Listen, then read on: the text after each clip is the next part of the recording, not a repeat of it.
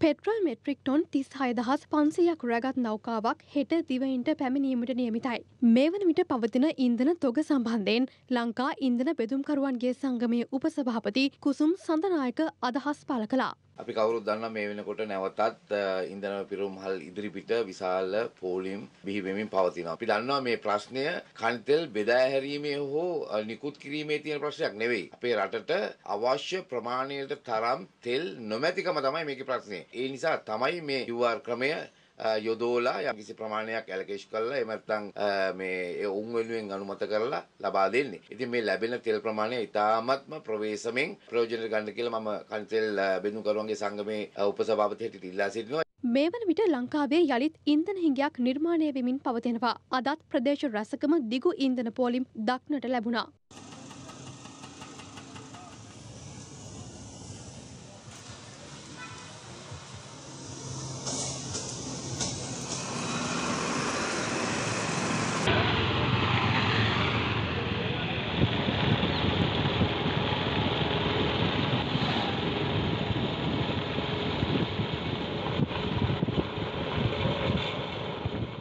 මේ අතර පවතින ඉන්දන හිගේ හමුවේ වුවද අද දිනේ සියට හැටක් බස් ධාවනය සඳහා යොදවා ඇති බවයි ලංකා පෞද්ගලික බස්සිමියන්ගේ සංගමේ සභහපති ගැමුණු විජේරත්න ප්‍රකාශ කළේ. පාසල් ළමුන්ගේ විභාග කටයුතු මේ දිනවල පැවැත්වෙන බැවින් අපහසුතා මධ්‍යයේ වුවත් අද සියලුම වෑන් රථ ධාවනයට එක් කළ බව සමස්ත ලංකා පාසල් ළමුන් ප්‍රවාහන සංගමේ ලේකම් ලලිත් චන්ද්‍රසිරි ප්‍රකාශ කළා. ඇත්ත වශයෙන්ම ප්‍රමාණවත් නෑ. නමුත් රටේ තියෙන ප්‍රශ්නේ අපි තේරුම් අරගෙන අපි ඒවට වෘත්ති සමිති ක්‍රියාමාර්ග මොනවාක්වත් නොගෙන සාකච්ඡා මට්ටමින් මේ ගැටලු ටික විසඳගෙන දරුවෝ ප්‍රවාහනය කරන්න තමයි මේ කටයුතු කරගෙන යන්නේ. 100%ම අද එනවා කොළඹ. නමුත් ඇවිල්ලා යන්න ඩීසල් නැති ප්‍රශ්නයක් තමයි ඊයේ ඩීසල් නොලැබිච්ච අයට තියෙන්නේ. ඒගොල්ලන්ට අද අපි QR කෝඩ් එකෙන් හරි දැන් සවුන්ද නිසා අද ගහ ගන්න පුළුවන් වෙයි. එහෙම හරි කරගෙන යන්න කියනවා අපිට බදාදා ඉඳලා ආපහු සුපුරුදු පරිදි අපිට ඩීසල් ටික ඩිපෝ වලින් ලැබෙයි කියන බලාපොරොත්තුවෙන් කටයුතු කරනවා.